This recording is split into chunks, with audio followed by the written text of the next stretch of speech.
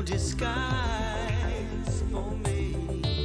Come into the open when it's cold.